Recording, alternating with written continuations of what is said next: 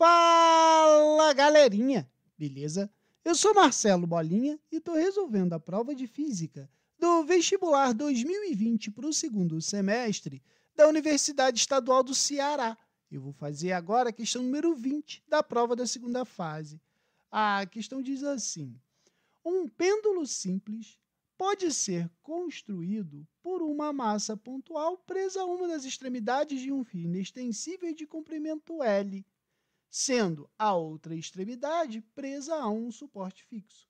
Considere que a aceleração da gravidade vale g em módulo. Assim, o tempo necessário para a massa oscilante ir de uma extremidade da trajetória à outra extremidade é.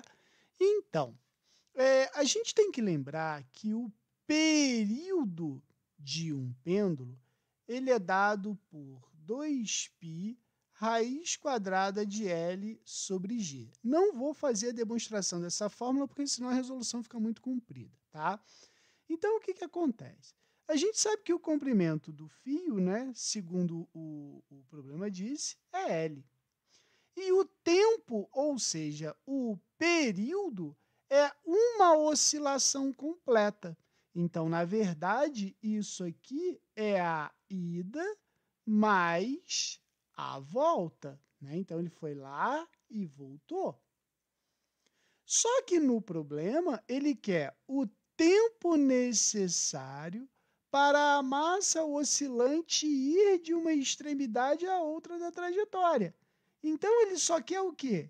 Ou só a ida ou só a volta. Então, o tempo que o problema quer é a metade do período. Entendeu? Entendeu?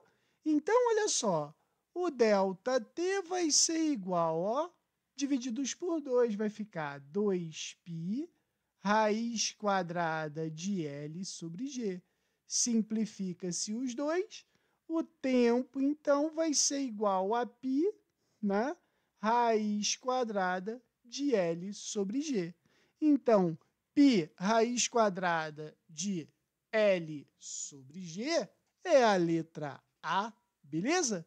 Qualquer dúvida, deixe nos comentários que eu te respondo.